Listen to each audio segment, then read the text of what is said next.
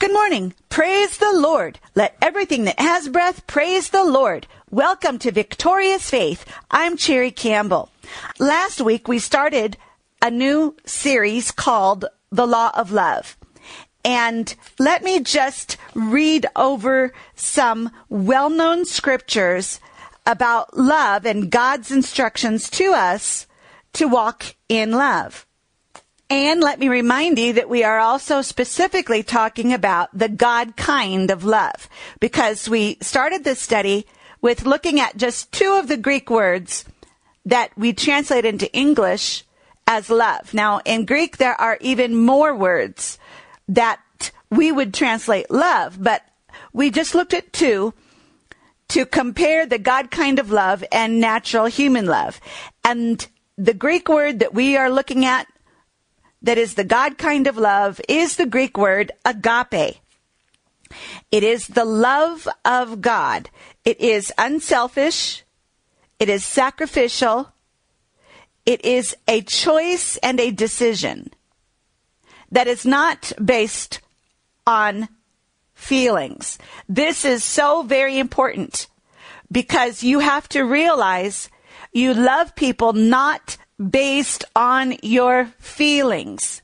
You may not feel love, but it's not always a feeling because the God kind of love is also a covenantal commitment. It's a commitment, it's a choice, it's a decision, and you do it whether you feel it or not. That especially comes in to play when you talk about loving your enemies, loving those who have hurt you. The, there will be no feeling. There are no good, mushy, gushy feelings for those that you don't like, people you don't like. But that's where it is a decision. It's a choice and it is a commitment, covenantal commitment. Whereas the human love, natural love, flesh love, we looked at one Greek word called uh, the word phileo, and it means fondness, affection, sentiment, and feeling. And that is feelings, and it is based on feelings. It is selfish. It is physical. That's the kind of love that is up and down, here today, gone tomorrow. Because it is based on feelings, there is no commitment in it. And that's where people sometimes say, well, we've fallen in love. Well, they've had some feelings. They've had some of those gushy feelings. But then they get mad at the person they get offended at the person and boom, the feelings are gone and they say, I don't love you anymore because they don't feel the gushy feeling that they had before. Well, that is flesh love and that is not the love that we are commanded to walk in.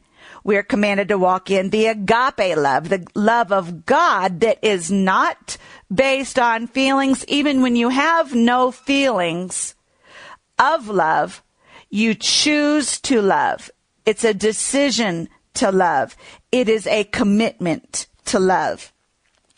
And so let's begin again with 1 Corinthians 13 verses 4 and 5. In the Amplified Bible, love endures long and is patient and kind.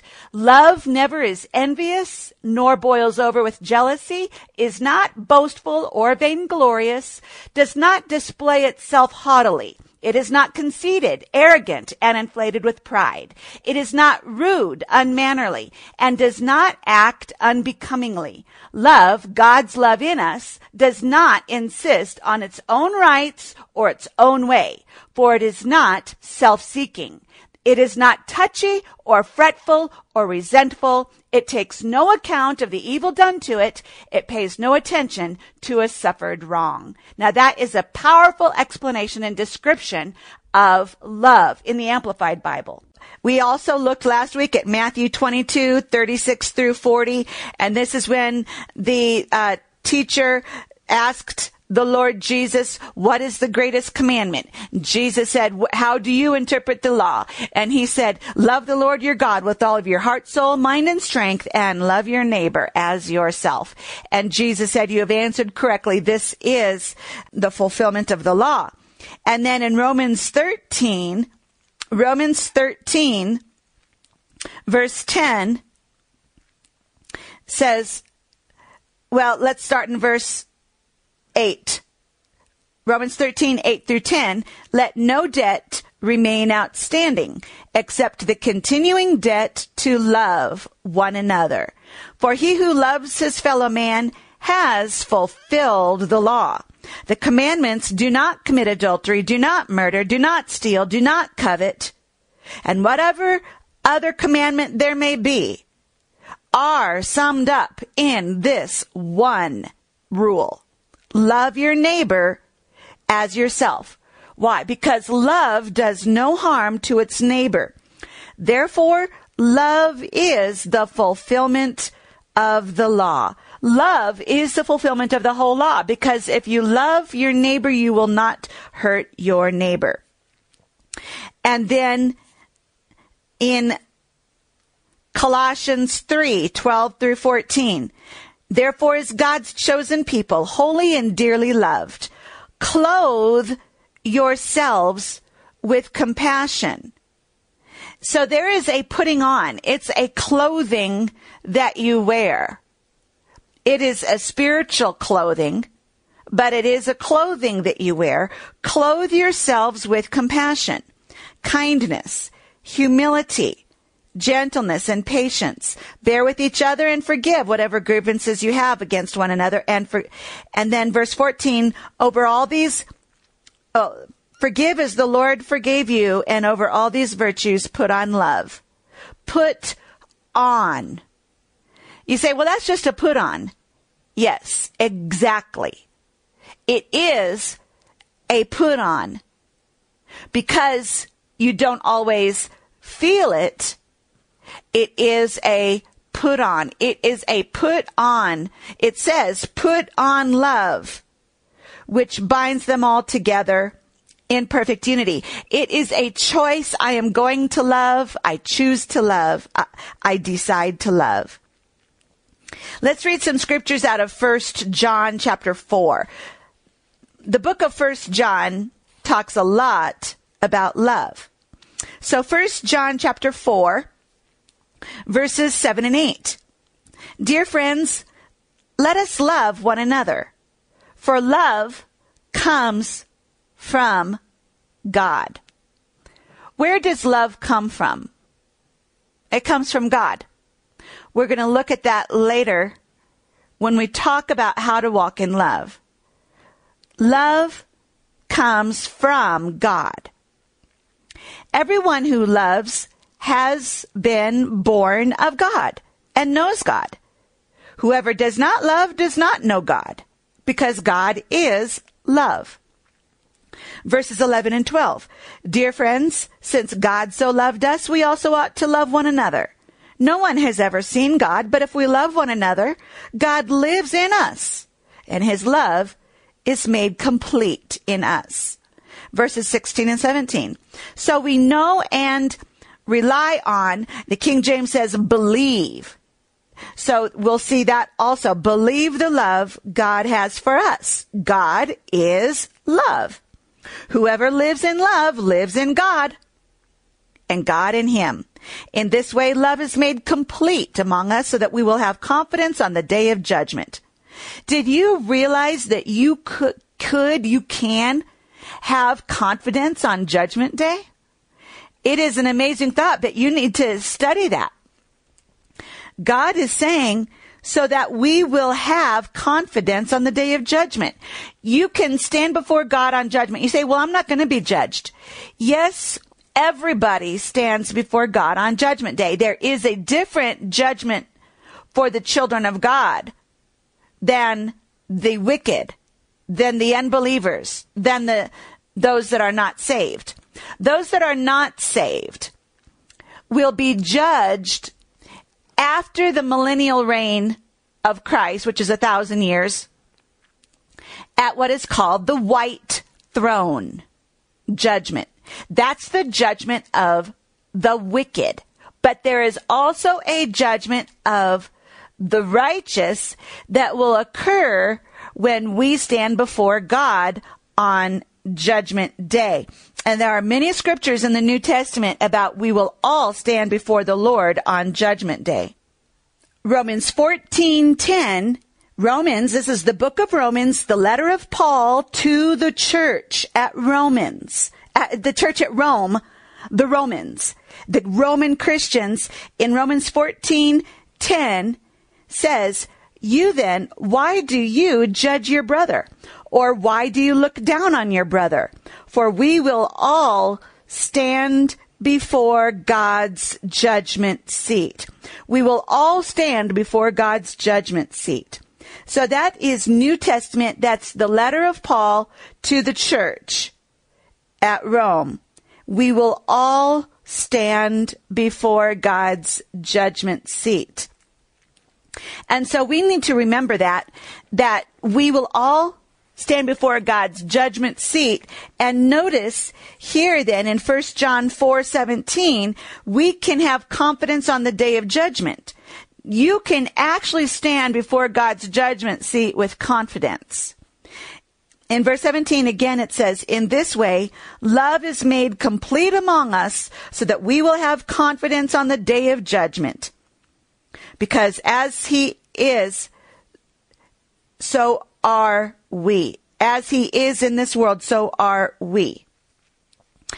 And then let's go on verses 19 through 21 in 1 John 4, 19 to 21. We love because he first loved us. If anyone says, I love God, yet hates his brother, he is a liar. For anyone who does not love his brother whom he has seen cannot love God whom he has not seen. And he has given us the, this command, whoever loves God must also love his brother. First John chapter 5, verses 1 through 5. Everyone who believes that Jesus is the Christ is born of God, and everyone who loves the Father loves his child as well. This is how we know that we love the children of God by loving God and carrying out his commands. This is love for God to obey his commands. And his commands are not burdensome, for everyone born of God overcomes the world. This is the victory that has overcome the world, even our faith. Who is it that overcomes the world? Only he who believes that Jesus is the Son of God. So we are the children of God, and we know we are children of God because we love one another. And then, of course, you know the scriptures about loving your enemies. And I'm just refreshing your memory on this because you've already heard these before, but let's hear them again. You know, this again is one of the ways that we are able to walk in love. Matthew chapter 5, verses 43 to 46. You have heard that it was said, love your neighbor and hate your enemy. But I tell you, love your enemies and pray for those who persecute you, that you may be the sons. And that word son is the word for adult. It's the Greek word huios, H-U-I-O-S, that refers to the adult, full-grown, mature son. This is a characteristic of spiritual maturity. We talked a few months ago about the stages of spiritual growth. We mentioned three. The babies, the child youth or the development stage, and the adult. And a lot of Christians think they're adult Christians, but they're not. They're babies or they're children because they have not matured in the things of God. And this is one of the characteristics of maturity. And this is a sign that shows you have matured.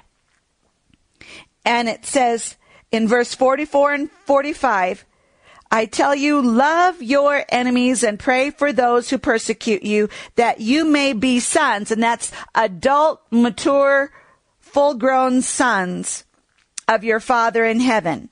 So when you are able to love your enemies and pray for those who persecute you, it is a sign of spiritual maturity and development. Children don't do that. Christian uh, that, and again, remember we've said before that it, spiritual maturity is not the same and based on physical maturity or age or time, how long you've been a Christian. People, there are Christians who have been Christians for 50 years and they're still babies or children because they have never done what it takes to mature in the Lord through studying the Word and practicing it. And so you can be 50 years old and 60 years old and 70 years old and still be a spiritual baby or a spiritual child because you have not practiced those things that show spiritual development and maturity. And so one of the things that shows spiritual development and maturity is loving your enemies and praying for those who persecute you. Verse 46, Matthew 5, 46 says, If you love those who love you, what reward will you get? Are not even the tax collectors doing that? Yes. And so, uh, and then Romans 12, 14, bless those who persecute you, bless and do not curse. Verse 16, live in harmony with one another, do not be proud, do not be conceited. And verse 17, do not repay anyone evil for evil. Do not repay anyone evil for evil. Verse 18, as far as it depends on you, live at peace with everyone. Verse 19, do not take revenge, but leave room for God's wrath, for it is written, it is mine to avenge, I will repay, says the Lord. Verse 20, on the contrary, if your enemy is hungry, feed him. If he is thirsty, give him something to drink. In doing this, you will heap burning coals on his head. And verse 21, do not be overcome by evil, but overcome evil with good. And remember 1 Peter 4 8 says, love covers over a multitude of sins.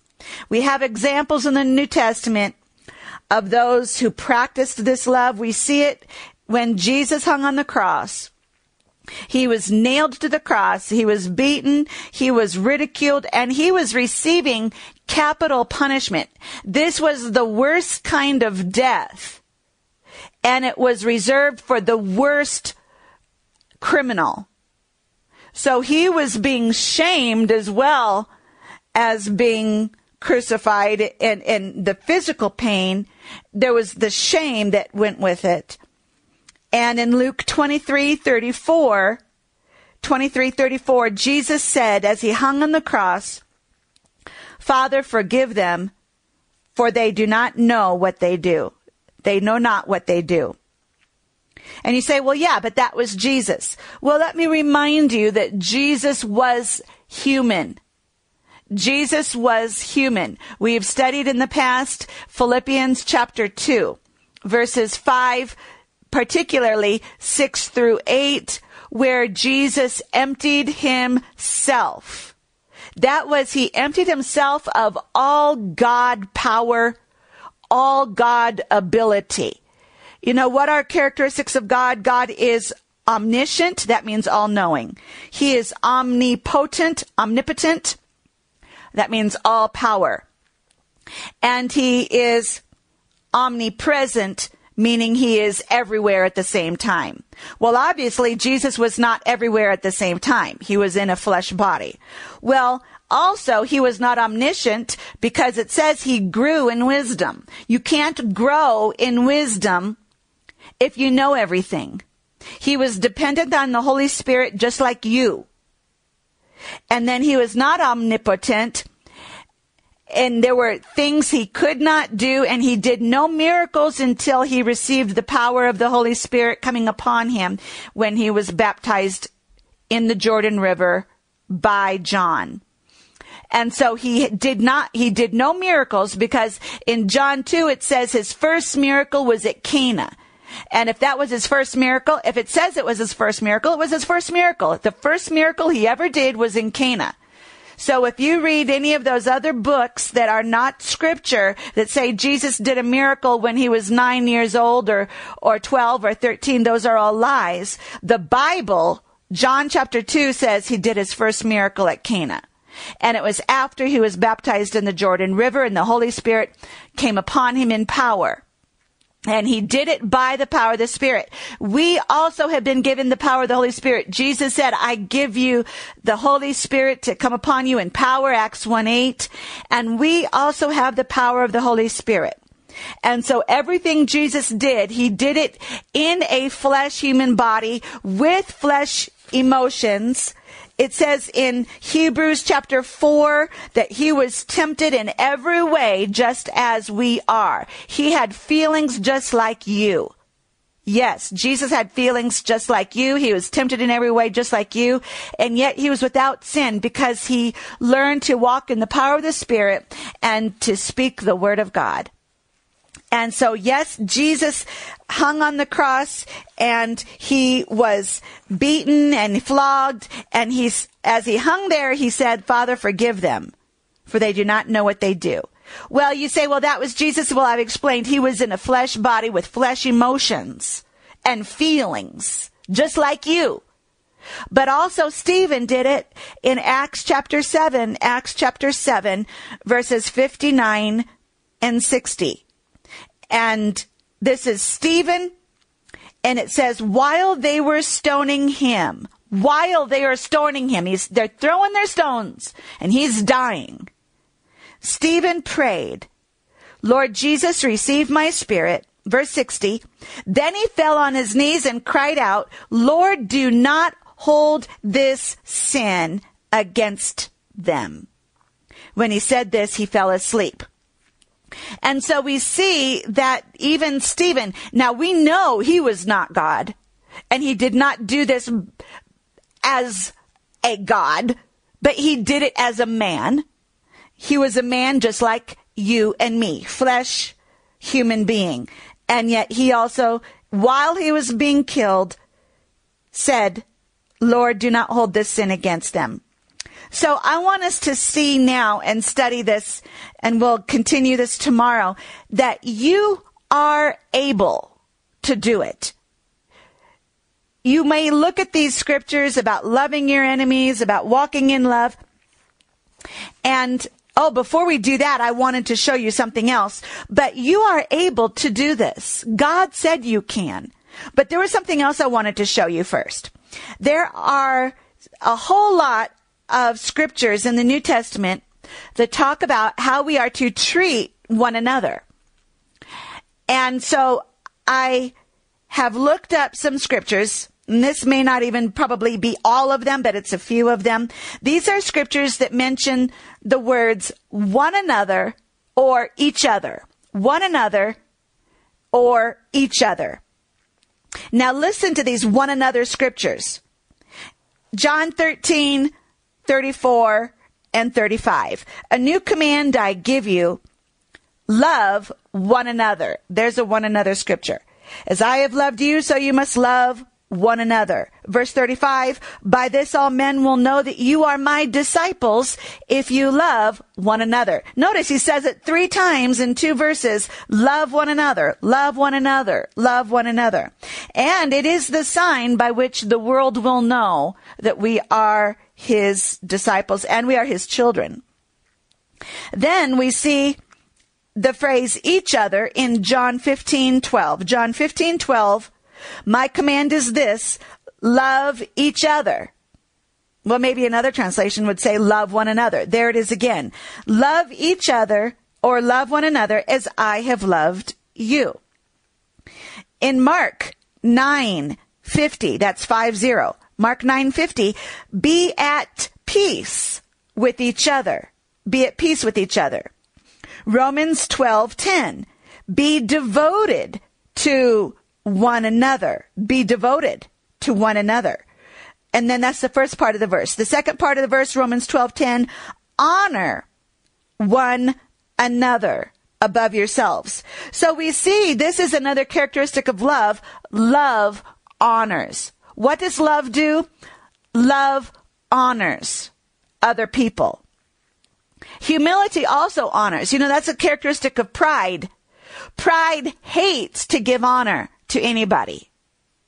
Pride hates to give honor to others. Humility will give honor, but so does love. Love and humility go hand in hand.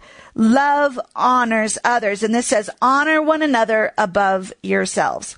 Romans 14, 13 says, stop passing judgment on one another. We talked about that last week. Stop passing judgment on one another. Don't judge one another. Romans 15, 7, accept one another. Accept one another. Romans 15, 14, instruct one another. Romans 16, 16, greet one another with a holy kiss. Galatians 5, 13, serve one another in love. Now this is another attribute of love. Love serves. Again, this is another attribute of humility.